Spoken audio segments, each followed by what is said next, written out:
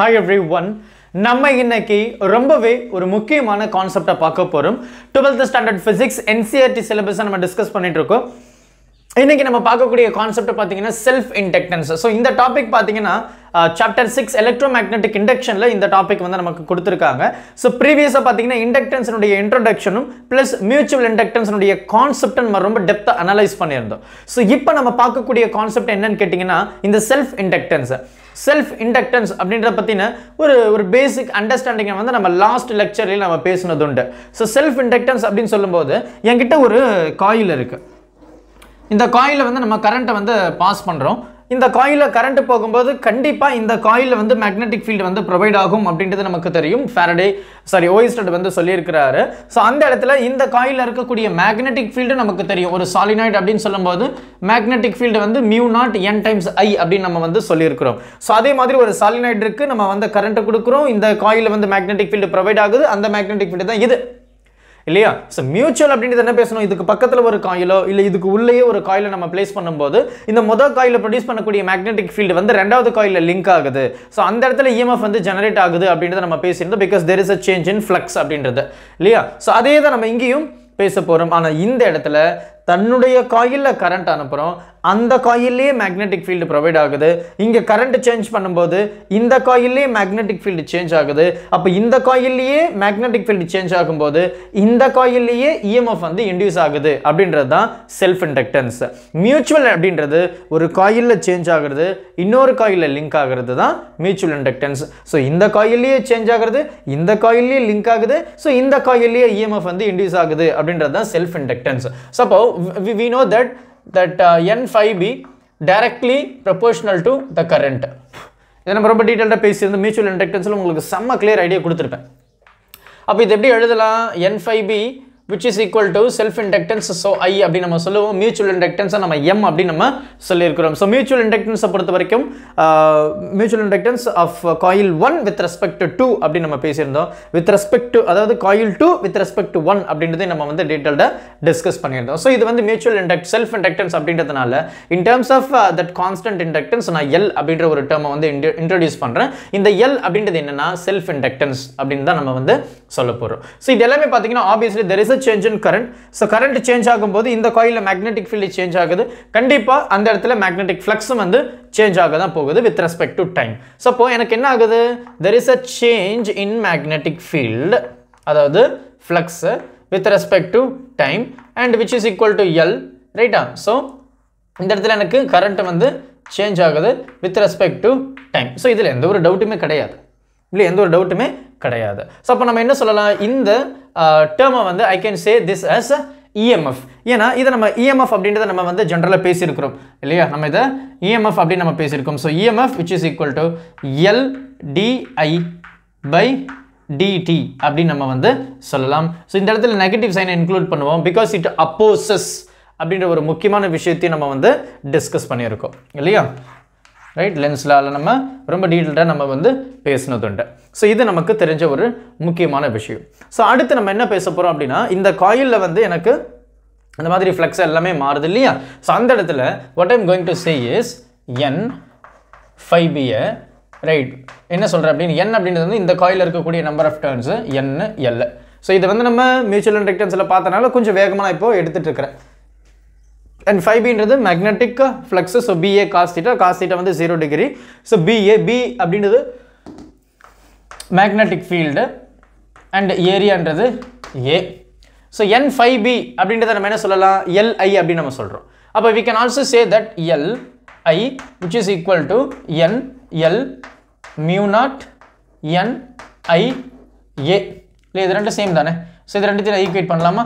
அப்போ இந்த இடத்துல என்ன சொல்லலாம்? இந்த ஐயும் இந்த ஐயும் cancel ஆகிடுமா so L which is equal to mu naught right N square A and then this L so இதுதான் வந்து நம்ம செல்ஃப் இண்டக்டன்ஸ்னு சொல்கிறோம் செல்ஃப் இண்டக்டன்ஸ் ரொம்ப சிம்பிளாக முடிஞ்சது இல்லையா? ஸோ மியூச்சுவல் இண்டக்டன்ஸ் வந்து கொஞ்சம் நம்ம டெப்த்தை அனலைஸ் பண்ணுற மாதிரி இருக்கும். ஸோ இந்த இடத்துல இன்னொரு முக்கியமான விஷயத்த சொல்லியிருப்பாங்க. Suppose if it is placed in some other medium air அப்படின்னு சொல்லும்போது மியூ ஆர் வந்து நம்ம ஒன் அப்படின்னு சொல்லுவோம். ஸோ அதனால் இந்த இடத்துல ஒன் அப்படின்றத நம்ம மென்ஷன் பண்ணணும்னு அவசியம் கிடையாது. சப்போஸ் இது வேறு எதனா ஒரு மீடியமில் பிளேஸ் பண்ணியிருந்தோம் அப்படின்னா இந்த இடத்துல அடிஷ்னலாக ஒரு டேர்ம் மியூ ஆர் அப்படின்றத நீங்கள் மல்டிப்ளை பண்ணுவீங்க which is nothing but permeability right it depends upon that particular medium air அப்படின்னு சொல்லும்போது அதனுடைய வேல்யூ ஒன்று ஸோ அதனால் we are not mentioning here but அது எதனா ஒரு மீடியமில் ப்ளேஸ் பண்ணும்போது மியூ ஆர் அப்படின்ற ஒரு டேர்மையும் வந்து நம்ம இந்த இந்த இடத்துல இன்ட்ரடியூஸ் பண்ணி ஆகணும். ஏன்னா இதுக்குன்னு ஒரு பர்டிகுலர் வேல்யூ இருக்குது ரைட் அப்போ இந்த இடத்துல நம்ம என்ன சொல்ல வரோம் அப்படின்னு கேட்டிங்கன்னா இந்த செல்ஃப் இண்டக்டன்ஸ் வந்து இஎம்எஃப் வந்து தனக்குள்ளேயே ப்ரொடியூஸ் ஆகுது. அப்போது இந்த இடத்துல நான் கரண்ட் இன்க்ரீஸ் பண்ணும்போது அந்த இஎம்எஃப் என்ன பண்ணும்? அப்போஸ் பண்ணும். ஸோ அதனாலேயே இந்த செல்ஃப் இண்டக்டன்ஸில் பேக் இஎம்எஃப் அப்படின்னு நம்ம சொல்லுவோம். அது என்ன சார் சம்மந்தமே இல்லாமல் பேக் இஎம்எஃப் அப்படின்னா நம்ம வந்து லென்ஸில் என்ன படிச்சிருந்தோம்? ஒரு காயிலில் வந்து மேக்னெட்டிக் ஃபீல்டு இன்க்ரீஸ் பண்ணும்போது அந்த மேக்னெட்டிக் ஃபீல்டை அப்ரோ அப்போஸ் பண்ணும் அப்படின்னு நம்ம பேசியிருந்தோம். இல்லையா? அப்போ இந்த இடத்துல இந்த கரண்ட்டனால ப்ரொடியூஸ் பண்ணக்கூடிய அந்த இஎம்எஃப் வந்து இந்த கரண்ட்டை அப்போஸ் பண்ணும். அப்போ இந்த இஎம்எஃப் இந்த கரண்ட் அப்போஸ் பண்ண பேக் இஎம்எஃப் அப்போ அப்போஸ் பண்றதையும் தாண்டி நான் கரண்ட்டை இன்க்ரீஸ் பண்ணணும். இல்ல கரண்ட்டை வந்து டிக்ரீஸ் பண்ணணும். அப்போஸ் பண்ணணும். இன்க்ரீஸ் பண்ணணும்னா டிக்ரீஸ் பண்ணணும். டிக்ரீஸ் பண்ணனா இன்க்ரீஸ் பண்ணணும். லென்ஸ்ல ரொம்ப டீட்டெயில்டாக பேசியிருந்தோம். அப்போ anyhow we are going to oppose this current இல்லையா?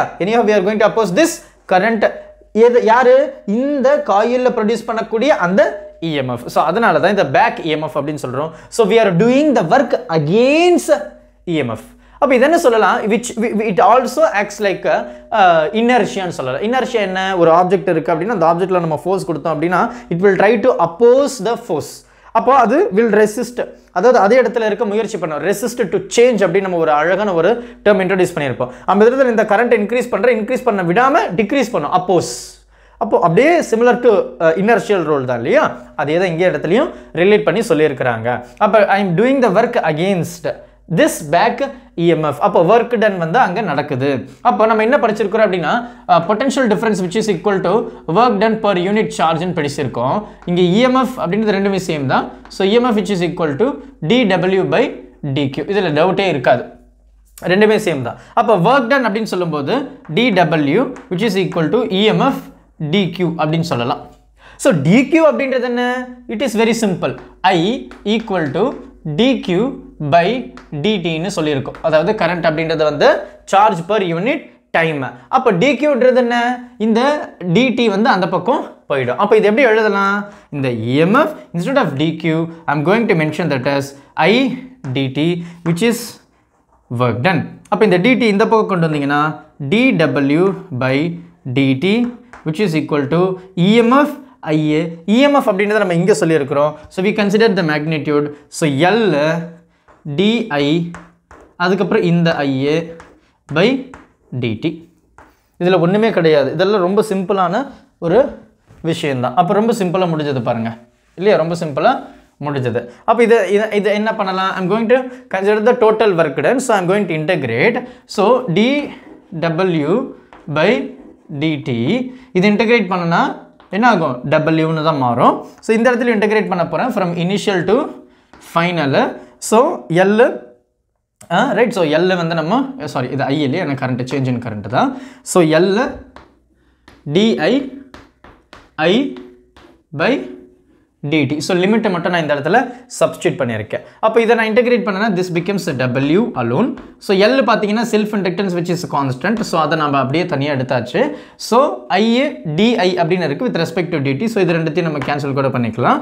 ஸோ எக்ஸ் டிஎக்ஸ் அப்படின்னு அதாவது இன்டெகிரேஷன் ஆஃப் எக்ஸ் டிஎக்ஸ் உடைய ஃபார்முலா உங்களுக்கு தெரியும். இன்டெகிரேஷன் ஆஃப் எக்ஸ் டிஎக்ஸ் அப்படின்றது என்ன சொல்லுவோம்? Which is equal to x to the power n plus one plus by divided by n plus one அப்படின்னு சொல்லுவோம்.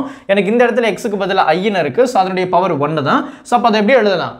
N plus 1 n plus 1 அப்படின்னு சொல்லும்போது 1 plus 1 divided by 1 plus 1 so which is nothing but i square by 2 இதனுடைய limit என்ன?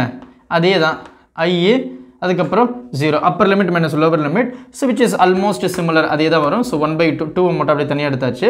So L I square அப்படின்னு நம்ம வந்து சொல்கிறோம் அப்போ இந்த இடத்துல இந்த ஒர்க் டன்னை நம்ம என்ன சொல்கிறோம் அப்படின்னா one by two L I square அப்படின்னு சொல்கிறோம் this is in terms of this concept inductance inductor அப்படின்னு கூட நம்ம வந்து சொல்லலாம் work done but where is நம்ம வந்து ப்ரீவியஸாக இன்னொரு டாபிக் நம்ம பேசியிருந்தோம் மெக்கானிக்கல் எனர்ஜி அப்படின்னு சொல்லும்போது அந்த இடத்துல கைனட்டிக் எனர்ஜியும் சொல்லுவோம். ஸோ கைனட்டிக் எனர்ஜி அப்படின்னு சொல்லும்போது one by two m v square அப்படின்னு நம்ம வந்து பயன்படுத்தியிருக்கோம். இது வந்து ஒரு சின்ன ரிலேஷன் மாதிரி சொல்லியிருப்பாங்க. It is similar to that அப்போ இங்கேயும் ஒர்க் டன் வந்து நடக்குது. அது என்ன அப்படின்னா one by two LI square அப்படி நம்ம வந்து சிம்பிளாக இந்த இடத்துல நம்ம வந்து முடிச்சிருக்கோம். ஒரு பெரிய வித்தையே கிடையாது. நார்மலான ஒரு விஷயம்தான். இல்லையா? ஸோ இந்த டேர்ம் எல்லாம் நீங்கள் ஞாபகம் வச்சுக்கிட்டிங்கன்னா இது உங்களுக்கு ரொம்பவே ஈஸியாக இருக்கும். பெரிய கால்குலேஷனே கிடையாது. ஸோ அப்போ இதுதான் நம்ம வந்து செல்ஃப் இண்டக்டன்ஸ் அப்படின்னு நம்ம வந்து சொல்கிறோம் ரொம்ப ஒரு பேசிக்கான ஒரு அண்டர்ஸ்டாண்டிங் உள்ள டாபிக் தான். நான் சொல்கிறது ஒரு தடவை மறுபடியும் நீங்கள் லைட்டாக ரீவைண்ட் பண்ணி பார்த்தீங்க அப்படின்னா இந்த கான்செப்ட் வந்து உங்களுக்கு ரொம்பவே ஈஸியாக இருக்கும் அப்படின்றதுல எந்த ஒரு சந்தேகமும் கிடையாது. ஸோ இதே தான் வந்து மியூச்சுவல் இண்டக்டன்ஸ் சொல்லுவோம். So instead of mutual inductance இந்த எல்லுக்கு பதிலாக நம்ம வந்து எம் அப்படின்னு நம்ம பயன்படுத்துவோம். இந்த இடத்துலையும் எம் அப்படின்ற ஒரு இதையை வந்து நம்ம பயன்படுத்துவோம். பெரிய வித்தியாசமே கிடையாது. செல்ஃப் இண்டக்டன்ஸ் அப்படின்னா தனக்குள்ளே ப்ரொடியூஸ் பண்ணக்கூடிய மேக்னெட்டிக் ஃபீல்டு தனக்குள்ளேயே லிங்க் ஆகுது. So self inductance mutual inductance அப்படின்னா தனக்குள்ளே ப்ரொடியூஸ் ஆகக்கூடிய அந்த மேக்னெட்டிக் ஃபீல்டு வந்து இன்னொரு காயிலில் லிங்க் ஆகும்போது அதில் இஎம்எஃப் வந்து ஜெனரேட் ஆகும். ஸோ இதுதான் வந்து நம்ம செல்ஃப் இண்டக்டன்ஸுக்கும் மியூச்சுவல் இண்டக்டன்ஸுக்கும் ஒரு சிம்பிளான ஒரு டிஃபரன்சியேஷன் அப்படின்னு நம்ம சொல்லலாம். ஸோ பொறுமையாக பாருங்கள் டவுட் எதனா இருந்தது அப்படின்னா மறக்காமல் கமெண்ட் பண்ணுங்கள் இந்த வீடியோவை உங்களுடைய நண்பர்களுக்கும் ஷேர் பண்ணிடுங்க. Thank you help this with a smile.